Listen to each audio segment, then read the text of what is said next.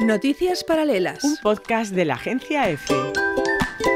Hoy te hablamos del SEAT 600, el pelotilla, ¿te acuerdas? Claro, como no acordarse, fue mucho más que un coche. Desde luego, sin el mítico utilitario, la historia económica y sociológica de España seguro que sería diferente. ¿Quieres saber cómo nos cambió la vida?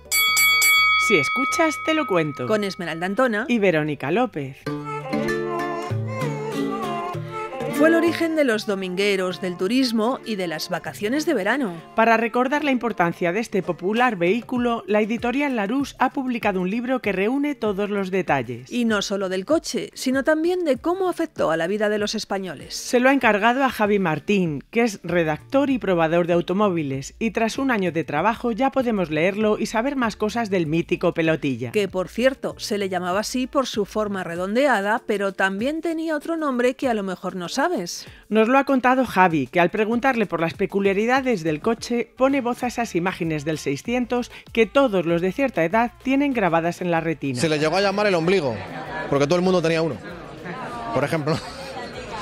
O lo típico, las famosas carreteras con los 600 a la, derecha, porque estaban, sabían calentar el motor, también es, es algo, o el 600 con la vaca llena de, de maletas, porque iba toda la familia en el coche, también es, es algo bastante peculiar del coche. Y es que es verdad, nunca ha habido espacio más aprovechado que el de un 600. Fue muy popular, pero no se puede decir que fuera barato. El primero se fabricó en 1957 en Barcelona, hace ya 65 años, y costaba unas 70.000 pesetas de la época. Que equivale más o menos a unos 15.000 euros actuales. Vamos, que tampoco estaba al alcance de todo el mundo, pero provocó un crecimiento exponencial de la industria y sobre todo una revolución social. Fue el primer coche de miles de y con el que muchas mujeres comenzaron a conducir, que en aquella época no era tan habitual.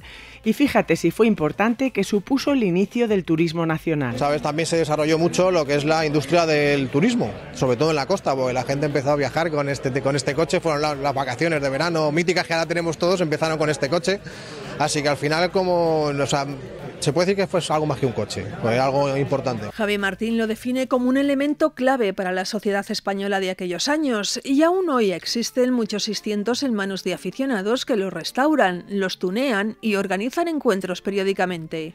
Era un coche sencillo y su principal problema era que el motor que estaba en la parte de atrás se calentaba. Y esto, nos explica Javi, era porque el radiador estaba mal ubicado y solo tenía una trampilla debajo por la que entraba aire y frecuentemente se ensuciaba. La solución rápida para salir del apuro, encender la calefacción del coche, aunque fuera en pleno mes de agosto. Así el motor de poco más de 600 centímetros cúbicos se refrigeraba más. Y con este remedio los españoles descubrían la libertad y muchos cruzaban la frontera para ir a ver películas de esas que aquí no estaban permitidas. Todo, descubrir, digamos, la libertad, ¿no? Mucha gente no sabía lo que era viajar fuera de su zona de confort de vacaciones, ni se empezaron a conocer a España, a salir de vacaciones. Había gente que se cruzaba la frontera entre Francia y Barcelona para para ver eh, películas que aquí no se emitían. O sea, supuso, supuso de todo. Pesaba solo 585 kilos, llegaba a alcanzar los 100 kilómetros por hora y tenía un depósito de 27 litros de gasolina, con los que se podía recorrer una media de 400 kilómetros. El libro se titula El 600, un sueño sobre ruedas y está ilustrado con fotos antiguas de todos los modelos que hubo. Y no faltan los detalles nostálgicos, como esos imanes pegados al salpicadero con el lema Papá no corra o los protectores de los asientos hechos de ganchillo. Todo un viaje al pasado.